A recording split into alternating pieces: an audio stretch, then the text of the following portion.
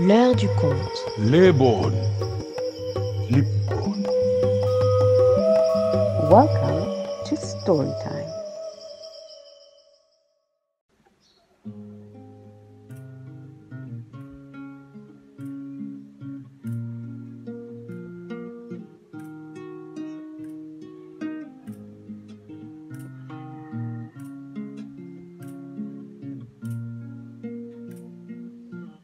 Bonjour les amis de tous bords, toujours dans l'heure du conte.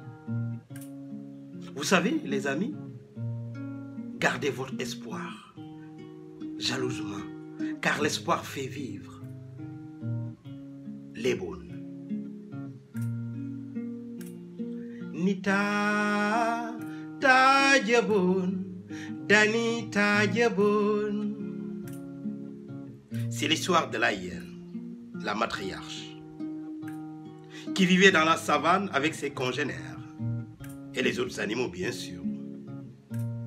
Un jour, elle s'est éloignée et elle a attrapé un oiseau et avait goûté à cette chair qui était tendre. Et à son retour, devant ses congénères, elle avait dit, mes amis, mes frères et sœurs, désormais, je ne vais me nourrir que de la volaille. Oui, plus de viande que de la volaille. Rigola ses congénères. Elles lui ont dit, mais toi, quand c'est vivant et que ça court seulement, tu ne peux pas attraper. Non seulement ça court, mais ça vole. Tu nous dis que tu ne vas te nourrir que de la volaille. Tu vas mourir de faim. Qu'à cela ne tienne, répondit la matriarche, et disparaît dans la savane.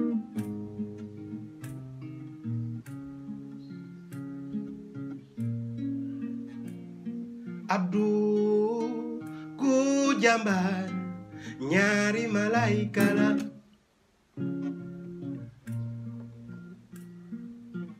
C'était comme ça pendant longtemps.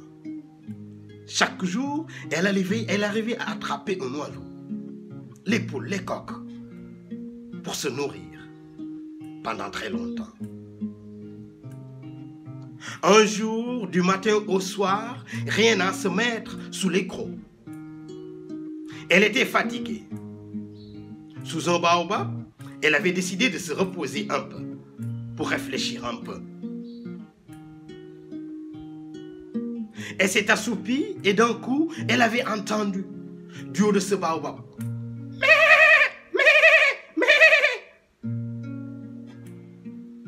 Elle s'est dit, peut-être c'est dans mes rêves, une chèvre ici, au milieu de nulle part, et du haut de ce baobab. Non, c'était dans mes rêves.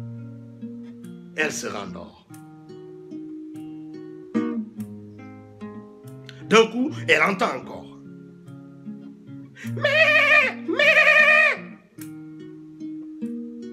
Elle s'est dit, ah, là c'est vrai. Mais puisque je suis seule, personne ne va rien dire. Elle s'est levée. À sa grande surprise, c'était pas une chèvre, c'était un coq.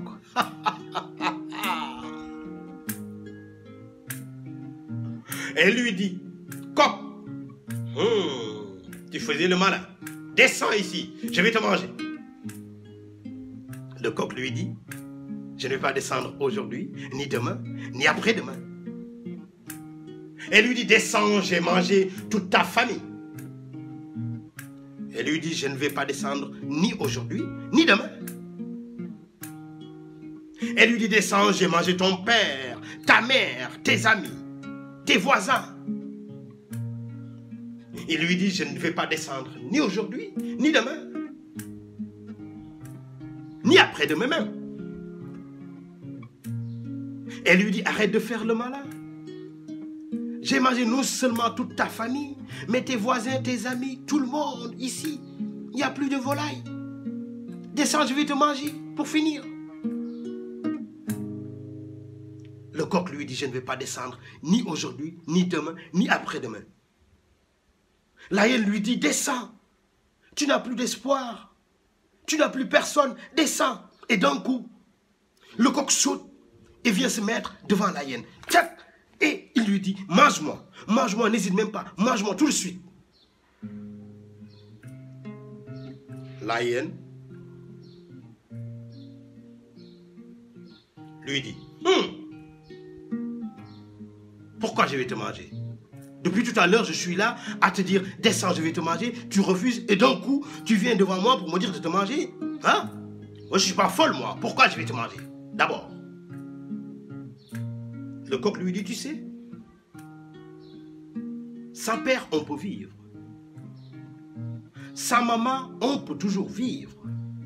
Sans les amis, les voisins, les frères et sœurs, on peut toujours vivre. Mais tu m'as dit que je n'ai plus d'espoir. Et sans espoir, on ne vit plus. Mange-moi, vite. La hyène lui dit, tu as raison, hein? Sans espoir, on ne vit pas. Pourquoi je vais te manger? Puisque sans espoir, on ne vit pas, je vais te garder comme espoir. Et depuis ce temps, je vous dis, les hyènes ne mangent plus les coqs. Et depuis ce temps, mes amis, mes enfants, les coqs chantent chaque matin pour nous rappeler que l'espoir fait vivre. Mes amis, mes enfants, gardez votre espoir, ça fait vivre. L'heure du conte. Lebon. Lipon. Welcome to Storytime.